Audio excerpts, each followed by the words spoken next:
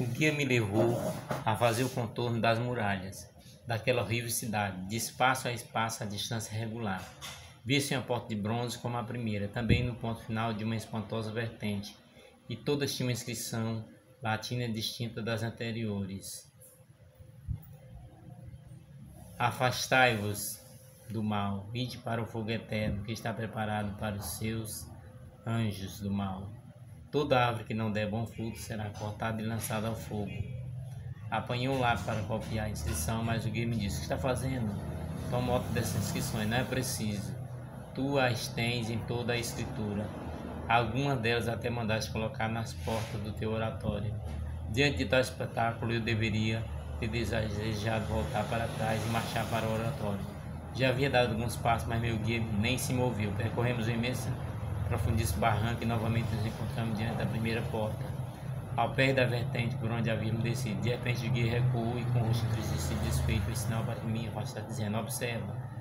Assustado, voltei os olhos para trás e vi uma grande distância. Por aquele rapidíssimo caminho, alguém que caía precipitadamente. Conforme ia se aproximando, procurava fixar-lhe o rosto. Afinal, reconheci nele um dos meus jovens, seus cabelos em parte desordenados e eriçados, em parte lançado para trás por efeito do vento, seus braços estendidos para diante atitude de quem nada para escapar do naufrágio. Queria parar e não podia, tropeçar nas pedras salientes do caminho, e ela mesma serviu para dar impulso na queda. Corramos, vamos, parar-lhe ajudar, dizia eu enquanto estendia para ele as mãos. Não, deixe, dizia meu guia. Por que não posso pará-lo? Não sabe como é terrível a vingança de Deus? Porventura, crise é capaz de parar alguém que foge da corda acesa do Senhor? Extremamente o jovem voltando a cabeça para trás, olhando com os olhos bugalhados para ver se a ira de Deus o perseguia, lançava-se ao fundo e a chocasse na porta de bronze, como se em fuga não pudesse encontrar melhor refúgio. Por que? perguntava eu. Aquele jovem olha para trás com tanto espanto, porque a ira de Deus atravessa todas as portas do inferno e vai atormentá-lo até em meio do fogo. De fato, aquele encontrou com estrondo se abria a porta. Por trás dela abriu-se ao mesmo tempo, com estrondo ensurdecedor, duas, dez, cem mil portas mais, empurrada pelo jovem que era levado por um novelo invisível, irresistível e velocíssimo. Todas essas portas de bronze, uma de frente à outra, embora a grande distância, ficavam um instante abertas. Vi no fundo, muito distante, como que a boca de um grande forno. Enquanto jovem se precipitava naquela voragem, elevaram-se bola de fogo.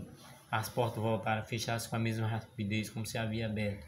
Tirei então a minha cadena para escrever o nome e o nome daquele desgraçado, mas o guia intimou. Espere e observe novamente. Eu olhei e vi um espetáculo. Vi que por aquela vertente estavam outros três jovens da nossa casa, os quais, a maneira de três pedras, rolavam rapidamente um após o outro. Tinha os braços abertos e urravam de terror. Chegavam ao fundo e foram bater na primeira porta. No mesmo instante reconheci todos os três. A porta se abriu por trás delas outras mil. Outros jovens foram empurrados no compridíssimo corredor. Ouvia-se um prolongado rumor infernal que se afastava mais e mais, desapareceram, cerrando-se as portas. Muitos outros, pouco a pouco, foram caindo atrás deles. Vi cair um pobrezinho empurrado por um perto companheiro. Uns caíam sobre os outros, acompanhados, um seguro pelo braço e outro solto, ainda que bastante junto um dos outros. Todos levavam escrito na fronte o seu pecado. E eu chamava com grande aflição enquanto caíam, mas os jovens não me ouviam.